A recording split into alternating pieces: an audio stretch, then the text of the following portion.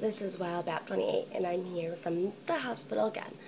Um, change in scenery, but this time I'm here for something a little different. Um, I came in because I was coughing constantly, and I just couldn't get a breath of air pretty much, because the humidity messed with my lungs, and um, I was also not eating, and then when I did eat, I couldn't keep any food down. I kept on throwing it up, and when I and then when I did keep it down, my stomach was just in a lot of pain. So I ended up getting on IVs, so my port's going um, for Pseudomonas. So that's just a basic lung infection. And also, I got my impen- my gallbladder taken out. Um, so that's something quite different. Um, actually, you can get stones in your gallbladder, and the thing that is different from kidney stones compared to gallstones is gallstones can actually block other things in your GI tract, like your liver, your small intestines, your large intestines, stuff like that, and then cause a bigger problem. So they didn't actually want me to pass it like a kidney stone, which you can just pass, which is kind of painful, but you can tolerate it. Um, so they didn't want any blockage and stuff like that going on.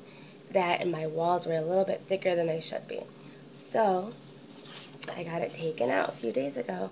These are the pictures I have. This, um, oops, wrong way. So right here, this is a basic gallbladder. Um, right under it is the, that black thing is actually the stone. You can also see it a little bit better in this picture.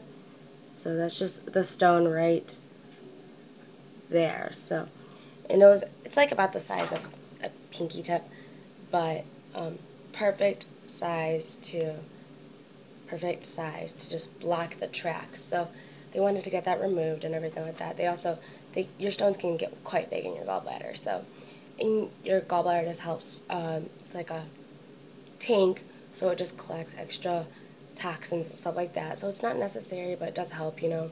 So they got taken out, and right now this is what my stomach looks like. So move the camera down. So, um, can see that there's one, two, three, four incisions. And this, if you guys don't already know, when I was a baby, I had um, meconium ileus, and um, most babies, when they go to the bathroom the first time, they go this black, this dark black stuff. And, well, I was black backed up, and I was really big and swollen, so they did surgery on me when I was only a couple hours old cleaned out my system, took out my appendix. So when they're doing your gallbladder, if you don't have too much scar tissue, which they I was kind of afraid of because of this, but they did a really good job on it, which I'm glad to know. Um, they go through your belly button, they go right here, and your gallbladder is actually like right about here. So they also went right there, and then right here.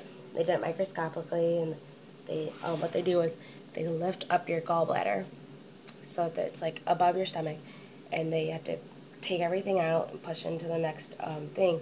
They also inflate your stomach with air. That's one reason you can't eat um, before surgery, especially on your stomach, is because they have to fill it with air so that they can they can properly inflate it and stuff like that.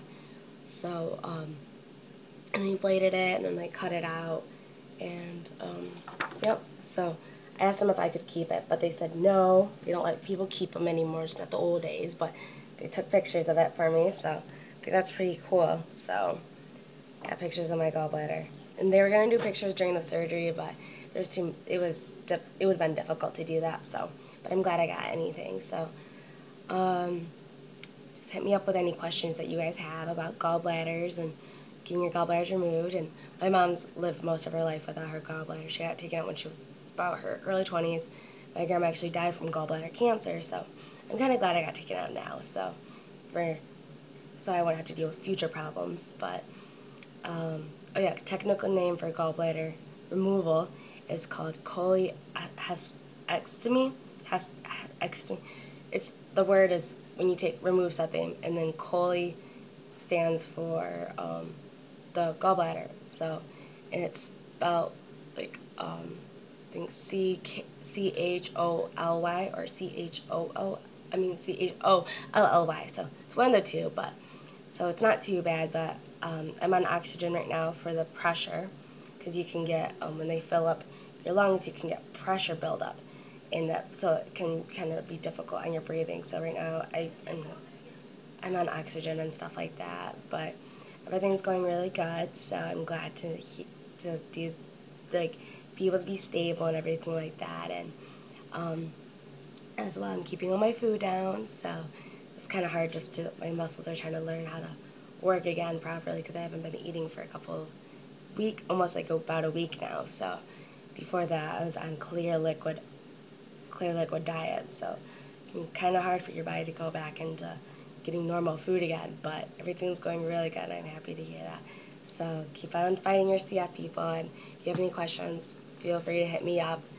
And you know me in the hospital, movie addiction. So if you guys have any good movie recommendations, old, new, classic, funny, romance, I'll try anything. I don't really care at this point. So just let me know. Thanks, you guys. Bye.